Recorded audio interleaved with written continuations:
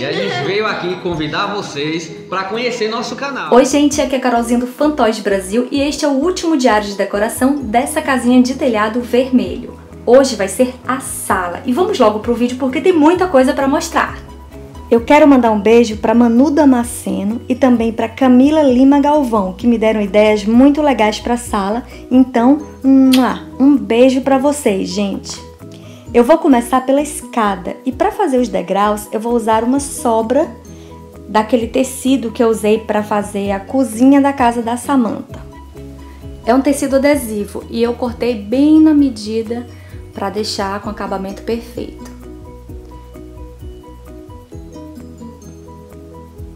Olhem como ficou legal. Agora eu vou usar pedaços daquele papel de madeira branco que eu tinha mostrado para vocês no vídeo anterior para fazer a parte de cima dos degraus. E eu cortei vários pedacinhos e vou colar por cima. Vejam aí como vai ficar. Eu gostei muito.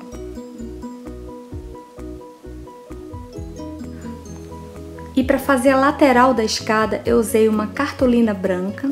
Eu risquei os degraus da escada, depois eu cortei e coloquei a cartolina branca com fita dupla face. Desse jeito aí que eu estou mostrando para vocês. Pronto, a escada já está pronta. Agora eu vou forrar as paredes e o chão e eu vou usar exatamente aqueles papéis que eu tinha mostrado para vocês no vídeo anterior. Como eu já mostrei várias vezes em outros vídeos fazendo a mesma coisa, não precisa mostrar aqui. Aqui está eu achei que ficou bem bonitinho, bem chique. O teto eu deixei branco mesmo. E agora vamos partir para o sofá e os quadros da sala. Para fazer os quadros, eu usei aquele livro Floresta Encantada, que tem vários desenhos super bonitos. E eu escolhi alguns aqui, tem uns que vêm em miniatura, já em formato de quadro. E eu escolhi também esse unicórnio aí, para fazer um quadro maior para minha sala.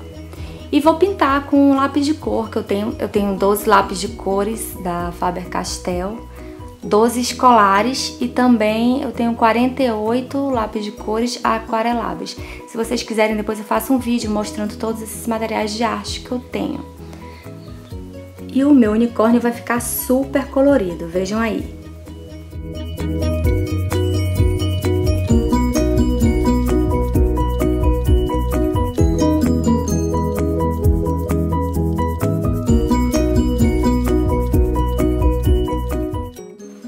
Deixei essa parte para fazer junto com vocês. E eu vou fazer um degradê usando um tom de lápis azul. Na parte de baixo eu vou pressionar mais para ficar mais forte.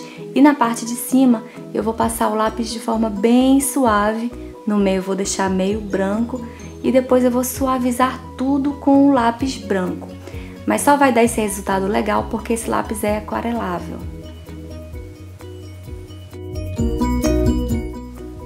Depois eu recortei o unicórnio e colei num pedaço de cartolina branca para fazer o quadro e aproveitei e já pintei outros quadrinhos também, com lápis de cor. E logo depois eu cortei mais um pedaço de papel cartão para fazer a moldura desses quadros e colei assim. Eu acho que o resultado ficou muito bonitinho, eu acabei fazendo quatro quadros, mas não usei todos na sala mas eu posso usar depois em algum lugar. No quadro do unicórnio eu colei umas estrelinhas brancas para dar um toque a mais, eu achei que ficou bem legal. E para fazer o sofá, eu me inspirei em algumas imagens do Pinterest, em que as pessoas usam algumas daquelas caixas de frutas que a gente vê nos mercados. Então as pessoas pegam essas caixas, elas pintam de cores variadas, agrupam e formam móveis. E aí tem uns sofás aí, nesse caso aí que eu tô mostrando, as pessoas nem pintaram tá da cor da madeira mesmo. Elas apenas agruparam e colocaram umas almofadas coloridas. E o sofá fica assim mais baixinho, não é um sofá alto, é tipo fica na altura do chão mesmo. E eu gostei muito dessa ideia. Dá uma olhada. Nesse caso aqui a pessoa pintou de branco a caixa.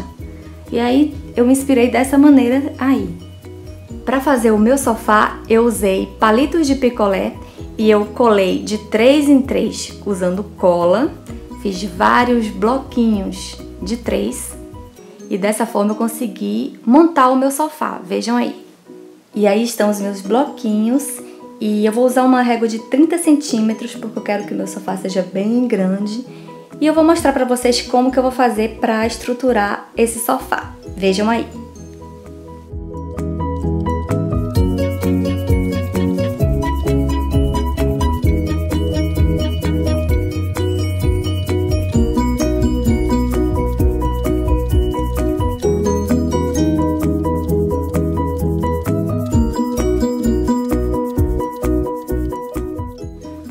Colei aí uns quatro bloquinhos para dar mais firmeza ao meu sofá. Vou esperar secar. E agora que secou, a estrutura tá mais forte, mas eu vou deixar ainda mais forte. Eu vou colocar vários pedaços assim na horizontal. Olha lá. E para fazer o encosto do sofá, eu vou usar um saco de tecido que eu ganhei numa loja. Acho que eu fui comprar um biquíni, veio esse saquinho, achei lindo e guardei. E ele é um saco perfeitinho, basta colocar o enchimento, que vai ser com acrilã, que eu vou cortar, aliás, eu vou cortar tanto para o sofá quanto as almofadas, como eu tô mostrando aí para vocês. E basta colocar dentro do saco e passar uma costura, né, para não ficar saindo. E vou também fazer várias almofadas coloridas para colocar nesse sofá, vermelhas, azuis. E vou fazer usando malha de metal também. Como eu não mostrei para vocês no vídeo anterior, eu vou mostrar agora. Basta colocar o enchimento por dentro, gente, vira a malha e passa a costura. É muito simples. Só que a criança não pode fazer isso sozinha, porque a criança não pode usar agulha não.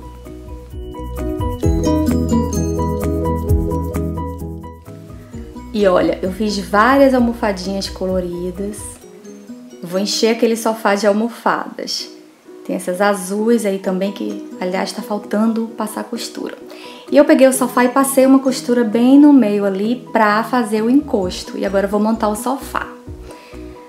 Olha, ah, eu acho que vai ficar lindo. Vou colocar as almofadas, vou colocar azul primeiro, depois eu vou colocar vermelho, eu vou alternando. Esse sofá vai ficar lindo. E aí tem essas almofadas também de malha. Eu coloquei, mas depois eu me arrependi. Eu resolvi tirar e usar em outro cômodo. Eu fiz essa mesinha de centro usando capa de CD. Eu já tinha feito aqui no vídeo anterior. Eu vou deixar o link aí embaixo para quem quiser ver. É muito fácil. E ela é amarela, bonita. Vou usar aí no centro com um jarrinho de flores brancos. E aí é o hack. Esse hack, aliás, é o mesmo da casa de Samantha, é apenas uma caixa de remédio que eu abri e virei ao contrário, passei uma tinta branca e é o hack.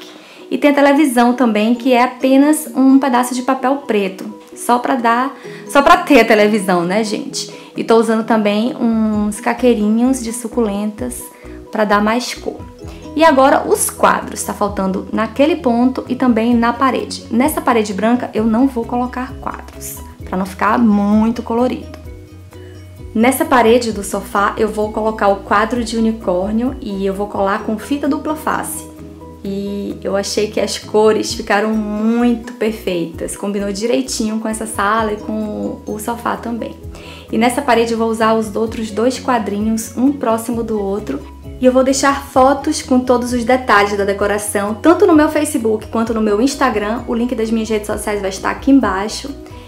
E eu agora estou muito feliz. O sofá é confortável, colorido. Pessoal, deixem um like nesse vídeo e se inscrevam aqui no canal que tem vários vídeos desse tipo. E daqui a uma semana, mais ou menos, eu vou fazer o tour completo pela casa. Eu vou alterar alguns detalhes da decoração, mas eu vou mostrar tudo pra vocês, não se preocupem. E vocês sabem que essa casa vai ser sorteada, então aguardem até a próxima semana. Um super beijo pra todo mundo e até o próximo vídeo. Mua!